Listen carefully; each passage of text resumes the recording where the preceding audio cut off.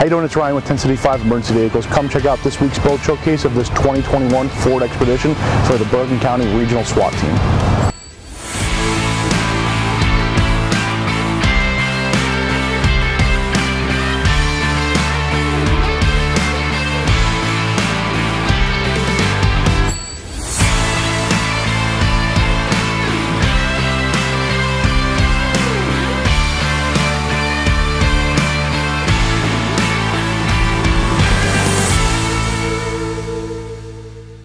Taking a look at is this 2021 Ford Expedition featuring SoundOff's new Blueprint 500 series system. Uh, we have sync and link so that we can sync to any of the other vehicles in the fleet. Um, up top we have an M-Power light bar in dual color, white override feature, full scene left and right. Uh, we upgraded to LED bulbs in the headlights, high beams and fog lights, and then we have them on a uh, headlight flasher to flash them to give them additional warning in response mode. Setina PB450, N forces up top, N forces in the side, N powers across the front, all featuring white override feature to give them full 360 scene, all come on with either the takedown left alley or right alley, low frequency siren system, and then also 200 watt speaker. On the side, we adapted the previous vehicle's graphics package to match the Expedition body lines, tricolor M powers on the front mirrors to give them intersection warning, dual deck grille N forces in the rear side window, and then on the running boards we have M powers, again in tricolor, white override feature. The whole side of the car goes white when they press the left or right alley. Uh, we tinted the windows to match the factory to give them additional privacy. Taking a look at the back, eight module sound off signal uh, spoiler bracket with tricolor M powers on it, white override feature for reverse and rear scene. 4x2 M powers in tricolor, reverse rear scene. 4 inch M powers on the rear bumper with the white override for the scene feature. Kussmaul auto eject to power the inverter charger.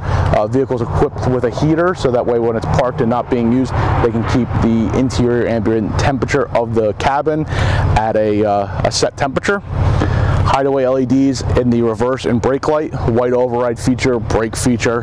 So taking a look at the back of the vehicle with the hatch open, um, we have done something a little different. We do it on the other vehicles for them. Uh, we don't match mount the lights to the hatch, we mount them down below.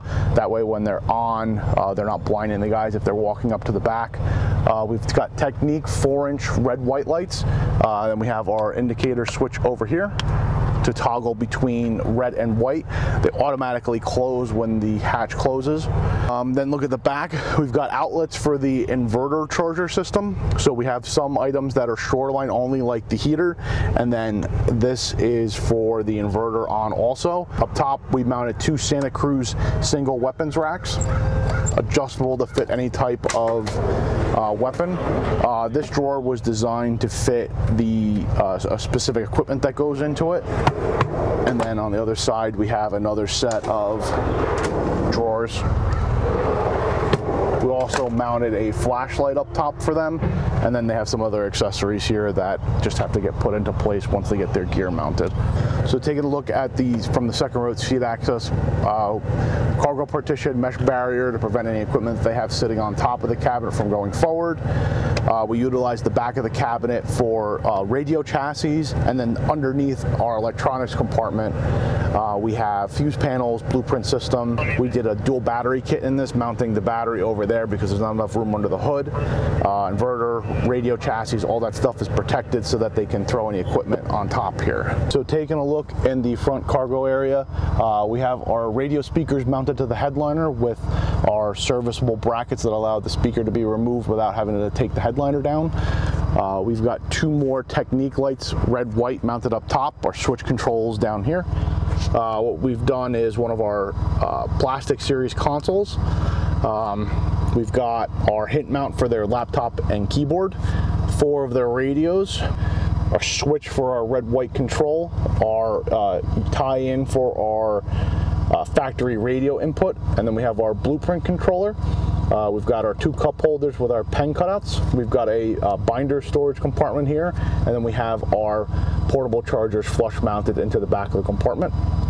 Thanks for checking out this week's boat showcase. If you have any questions about this vehicle, please feel free to reach out to us. Yeah, if you want a vehicle designed around your needs differently than this one, we'd love to help you out. Please feel free to reach out to us via email, direct message. Please comment, like, and share the video.